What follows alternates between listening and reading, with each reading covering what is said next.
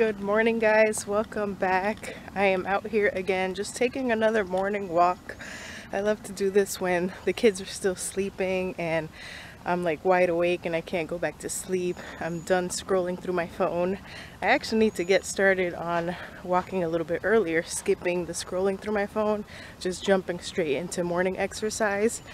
Um, sometimes if you don't enjoy exercise too much, it's good to get it over with first thing in the day, wake up a little bit earlier, or if you usually do wake up and just start watching videos on your phone or something, just do some exercise instead.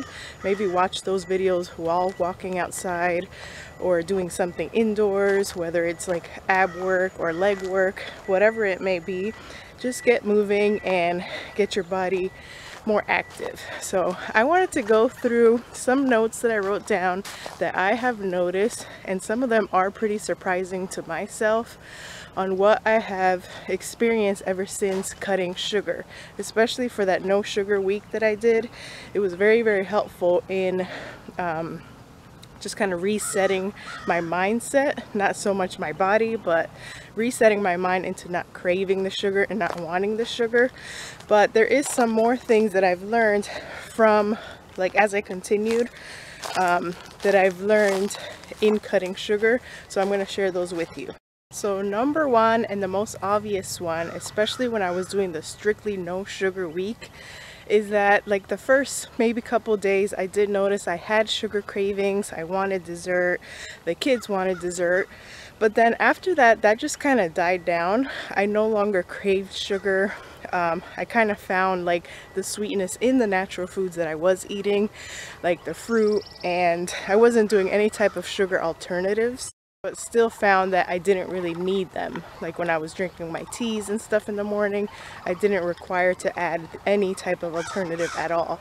And that's just after just one week of cutting out sugar. And even now this week, even though I've slowly introduced natural alternatives, I've been using a little bit of honey here and there. Um, I have like the stevia and monk fruit blend that sometimes I use, but not really that much.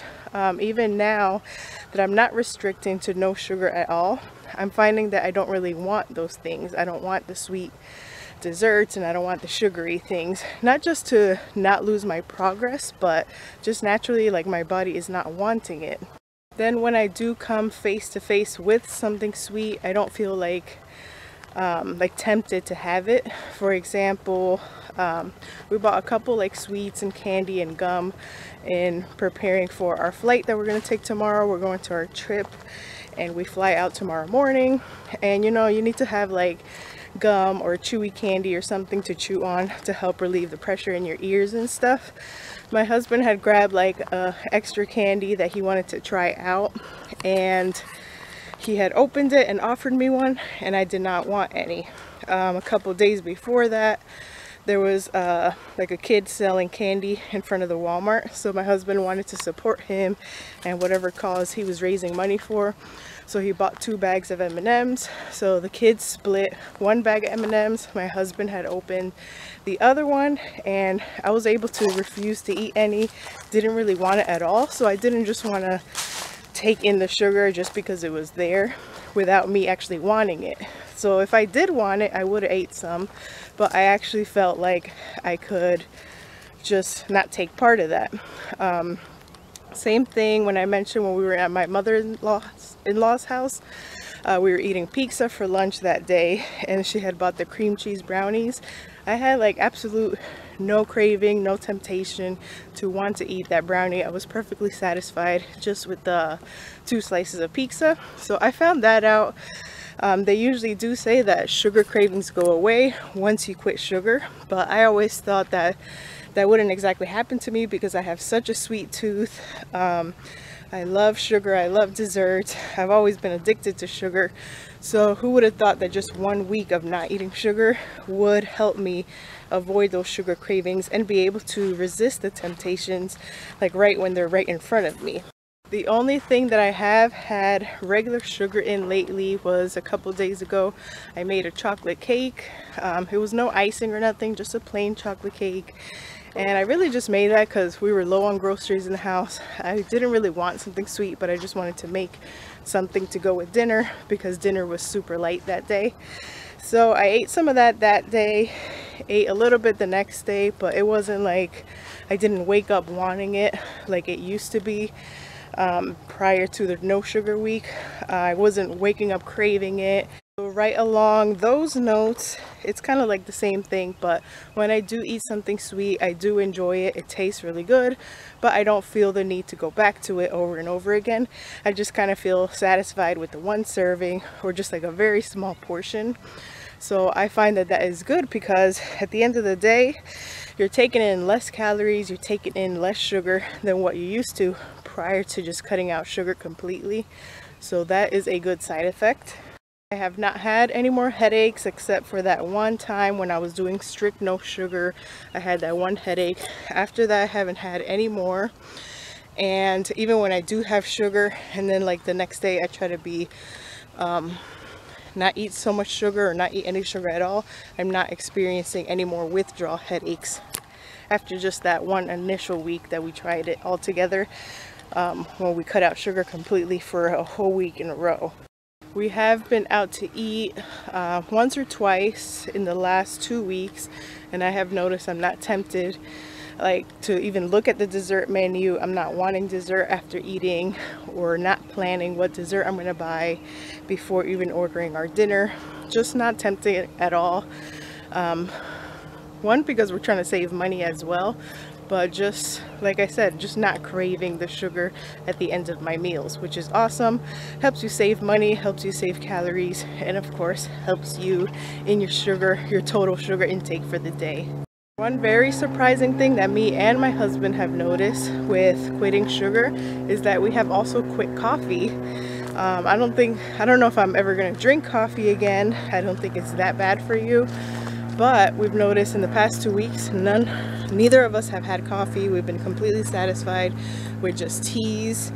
Um, so I do like tea in the morning sometimes if I feel like drinking like just from being used to drinking something hot in the morning I'll have tea or I've been having matcha the matcha tea with like a little bit of half and half in it mostly made with water sweetened with a little bit of honey and that has been good enough. Um, he's been doing the fruit fruit teas every morning and none of us have drank coffee. Um, I figure if I'm ever going to drink coffee again, if I'm craving the taste of coffee, I will probably try the decaf coffee. But I find that we were just used to drinking coffee every morning just by habit. I know I personally liked coffee every morning because of the cream and sugar in it and just that sweet factor right off to start my day but after drinking coffee I never really felt good it always made me a little bit nauseous sometimes it would give me heartburn without even eating breakfast yet. I would have heartburn after the coffee. Um, my husband has also noticed that he was very dependent on his coffee in the morning. He had a little bit of withdrawal there in the beginning but now he is instead of drinking coffee in the morning he's having his tea and then eating like a very light breakfast in the morning before heading to work where before he would just drink straight coffee go to work and not eat until lunchtime so I feel like that's a lot healthier for him more sustainable for him and then for me I'm cutting out the extra calories that coffee used to provide right off the bat in the morning I was probably drinking like 200 calorie coffees every single morning just from the cream the creamer or the half and half and all the sugar that I was adding. So I found that really I wasn't addicted to coffee or caffeine itself. I was just addicted to the sugar. Um, my husband was more uh, addicted to like the caffeine and the energy that I would give him in the morning. But now that he's cut it out, he's felt like he hasn't needed it at all. So that is another good thing. Um, quitting coffee or like lots of caffeine is healthy for you altogether not just for your organs but if you're on a fertility TTC journey as well cutting out caffeine can't be a bad thing at all I've also decided this year I was not going to be drinking any alcohol at all and quitting sugar has definitely helped in that because sometimes I would crave like sugary alcoholic drinks. Anytime we would drink anything that had alcohol in it it would either be like a very sweet mixed drink or maybe some wine. Um, I'm not saying I'm just going to quit alcohol forever, but definitely that has, I feel like that has helped with my sugar intake in general. I'm not craving the alcoholic drinks in the weekend.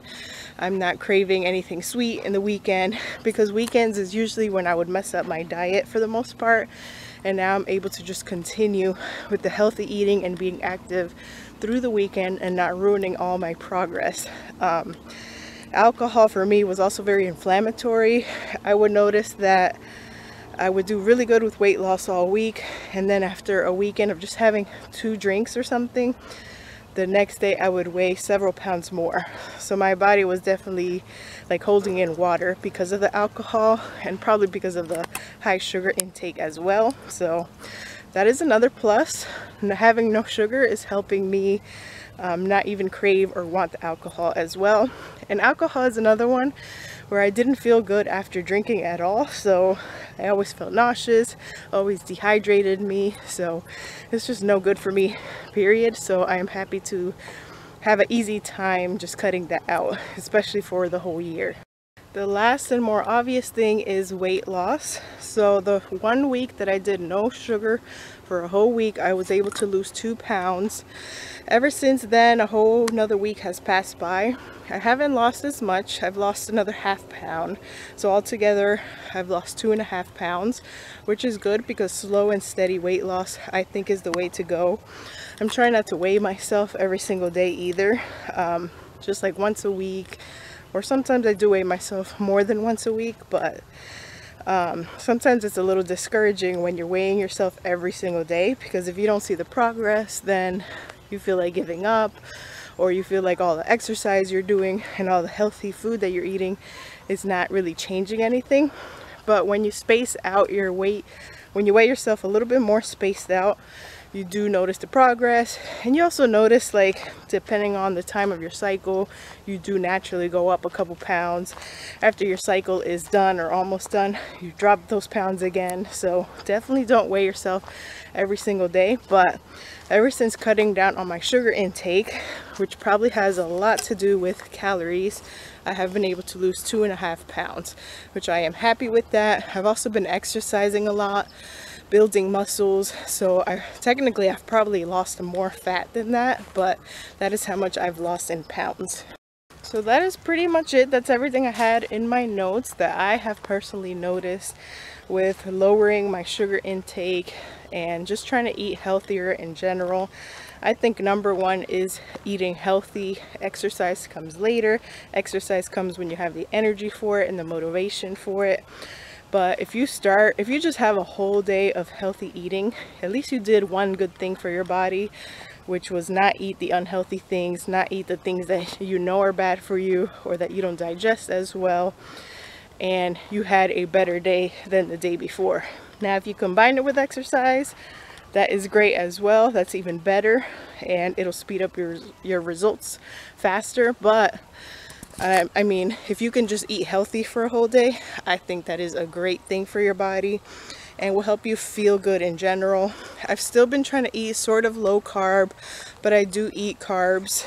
Like I do eat rice and potatoes.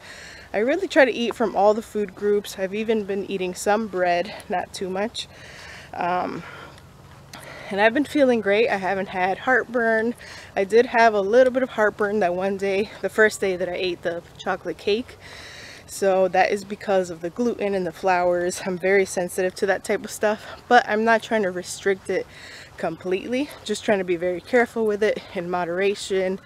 Maybe like once or twice a week, I'll have something that has the grain in it and then I do want to try like other grain alternatives as well. I already know what sugar alternatives I like and don't like, but I still have to experiment with um, grains that I can digest good without getting um, like gluten symptoms or heartburn and all the things I get when I do eat grains but hopefully this video helped you out. Definitely cutting sugar is always going to help regardless.